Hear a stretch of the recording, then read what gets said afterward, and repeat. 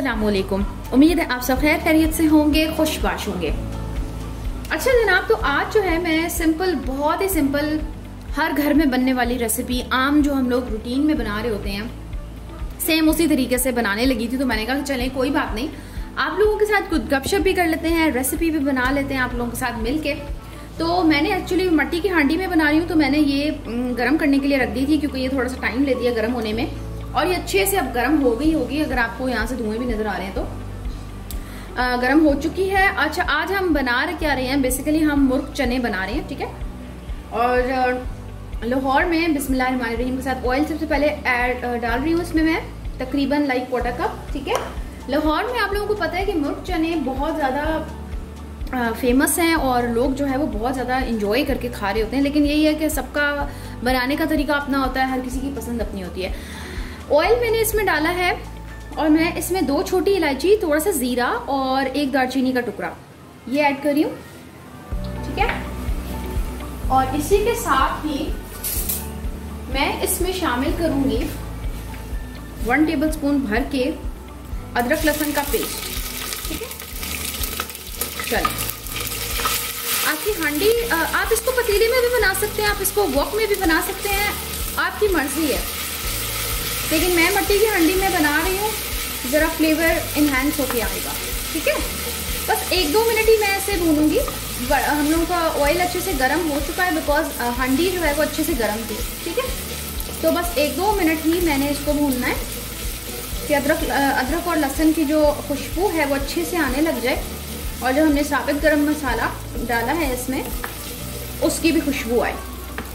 बस इसी पॉइंट पे मैंने एक्चुअली क्या किया था एक मीडियम प्याज लिया था और एक मैंने मीडियम टमाटर लिया था। अब वही वाली बात है कि मैं अभी यूजली घर के लिए ही ये बना रही हूँ तो मेरी क्वांटिटी मेरे घर के लाइक आप लोग ये समझें थ्री टू फोर परसेंट के हिसाब से सर्विंग होगी, ठीक है?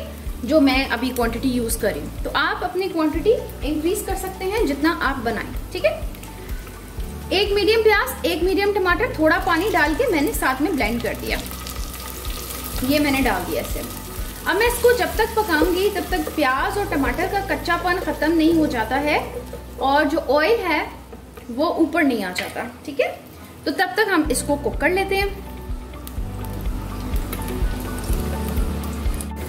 जी तो जनाब, आप देख सकते हैं कि पाँच सात मिनट हो चुके हैं और मैं ये मुसलसल इसको पका रही थी बीच बीच में इसको, मैं इसको इसी तरीके से हिला रही थी। हम लोगों ने बेसिकली टमाटर और प्याज का कच्चापन दूर करना था, ठीक है? और अब टाइम है कि मैं इसमें मसाले शामिल करूँ। घर के मसाले सिंपल हम डालेंगे। मैंने यहाँ पर देखिए नमक लिया है, लाल मिर्ची पाउडर लिया है, धनिया पाउडर लिया हुआ है, हल्दी पाउडर लिया हुआ है कसूरी मेथी ली हुई है और मैंने भुना हुआ कुटा हुआ ज़ीरा लिया हुआ है। नमक और मिर्च अकॉर्डिंग टू योर टेस्ट होना चाहिए, ठीक है? हाफ़ टी स्पून भुना हुआ कुटा हुआ जीरा है, यहाँ पर वन टेबल स्पून यहाँ पर धनिया पाउडर है और हाफ़ टी स्पून हल्दी पाउडर है वन टेबल स्पून भर के यहाँ पर कसूरी मेथी है, ठीक है? तो ये सब मैं इसमें शामिल करूँगी। इसी के साथ ही मैंने इसमें तकरीबन हाफ़ अ टी स्पून के जितना मैं इसमें ब्लैक पेपर पाउडर भी शामिल कर रही हूँ, ठीक है? और ये है हमारे मसाले जो हम लोग इसमें शामिल कर रहे हैं। ठीक हो गया, इसको अच्छे से करेंगे मिक्स और साथ ही मैं इसमें चिकन जो है वो शामिल कर दूँगी। अब चने ऑब्वियसली मेरे बॉइल्ड हैं तो वो मैंने बाद में शामिल करने हैं, ठीक है? फ़िलहाल हम लोगों ने चिकन को टेंडर करना है तो हम ऑब्वियसली चिकन पहले डालेंगे।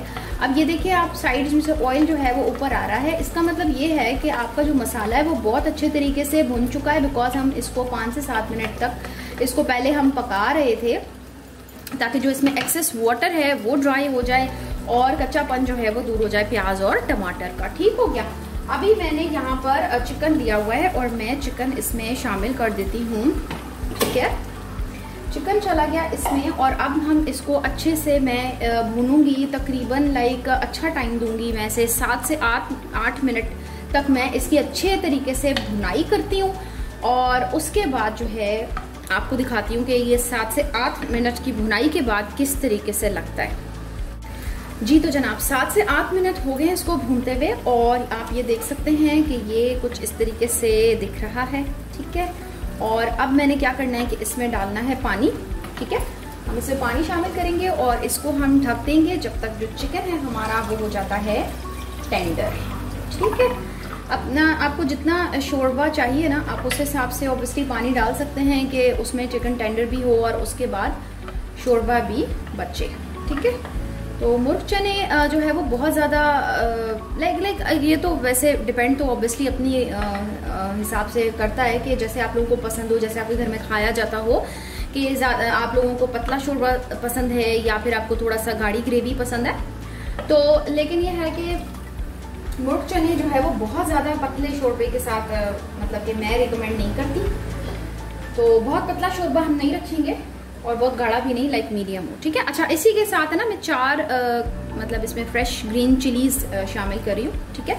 और अब मैं इसको ढक देती हूँ और उसके बाद हम इसको पकने देंगे तकरीबन 10 टू 12 मिनट्स जब तक हमारा जो चिकन है वो हो जाएगा टेंडर और जो फ्लेम है वो मीडियम टू हाई है ठीक है?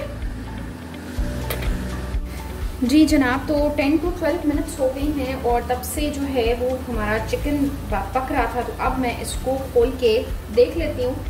और उसके बाद हम इसमें चिकन तो टेंडर हो ही गया होगा, ठीक है?